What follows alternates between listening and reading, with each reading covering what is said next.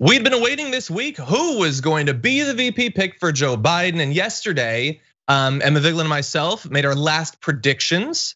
And um, Emma, I believe, picked Karen Bass, if I remember correctly. And I picked, of course, the correct one. And it was Kamala Harris, which we found out not long after the show happened. There was no reason to throw Emma under the bus there, but I worked it in.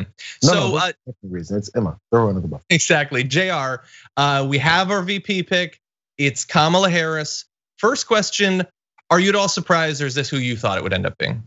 Uh, not surprised. In fact, I'd have been disappointed if he didn't do this because there'd have been there would have been a chance for everyone to then scour and trying to figure out the reasons why he chose someone else. So even at, when you choose the obvious pick, then the outrage has to come because we need something to talk about. Oh my God, he chose Kamala. You know what that means?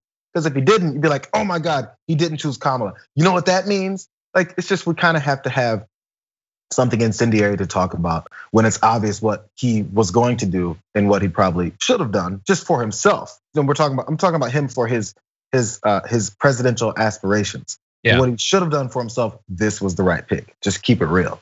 Yeah. Whether or not whether or not it's gonna progress progressive values to the degree to which you think it will. We're talking about right now, Joe Biden, who is the presumptive nominee, chose uh, Kamala Harris. I don't think that's radical. Got to be honest. Mm-hmm.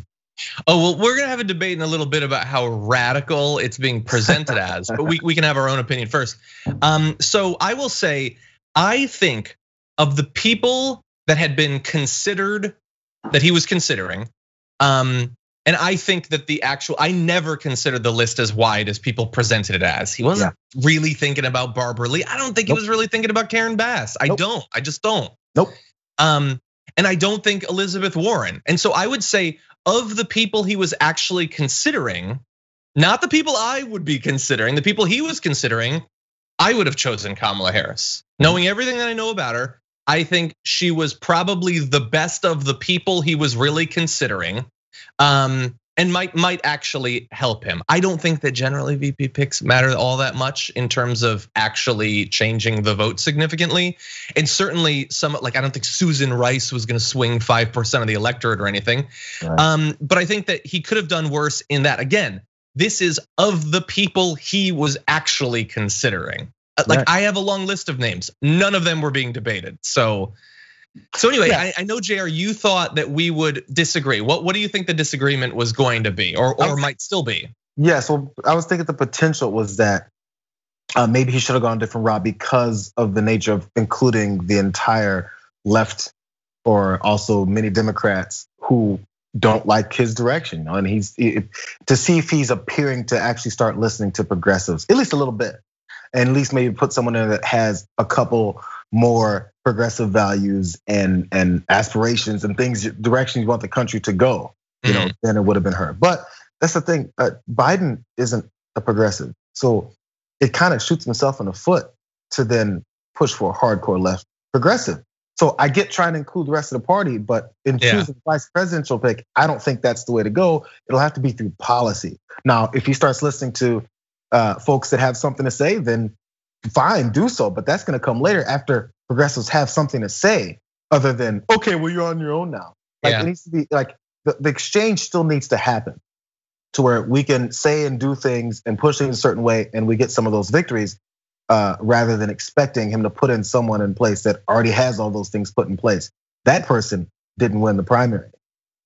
Yeah, I look, look, I think that if he had if he had wanted to send a signal to the left um, of the names that he would have considered for that. And again, it's not the list that I would consider. I think he could have gone with like Barbara Lee potentially. Um, the thing is, would that actually really significantly change his presidency? I don't think that any vice presidential pick is really going to change it. So to some extent, I I would be a little bit annoyed, and I guarantee the actual uh, reaction would have been, okay, so he picked you know a little a little bit more progressive of a VP pick, but like, is that really going to change his policy? So I, I, think we would have been cynical anyway. Yeah, because I still think it would have been better. Yeah, people um, don't people don't trust him. So therefore, if he did something that would yeah. fall more in the lines of what progressives would have wanted, they'd have been like, okay, what's the ploy here? Yeah, you know, what's the idea? Yeah, and and I mean, the, the reason that the VP pick is more important than it is usually is that, of course, Biden is is old, and you know it's it it seems almost certainly that whoever becomes VP is going to be running for president four years later.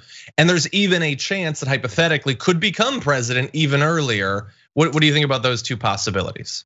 Oh, I'm sorry about what was that second part? The one that it's definitely setting this person up to run in four years, and that even hypothetically in one or two or three years, you know, God forbid, could become president.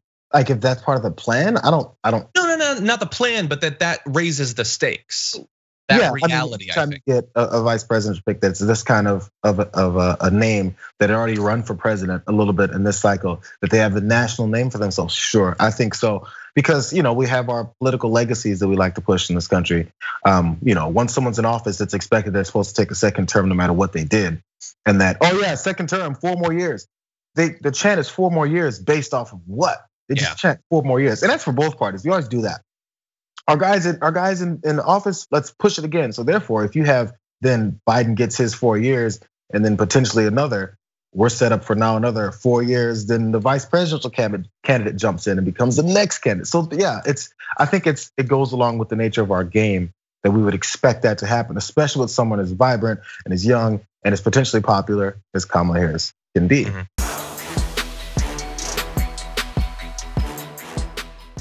For more political news breakdowns, interviews, stories of activism, and me trying my hardest to care about the occasional big celebrity news story, subscribe to our YouTube channel at youtube.com slash the damage report. And you can ring the bell wherever it is so you don't miss anything.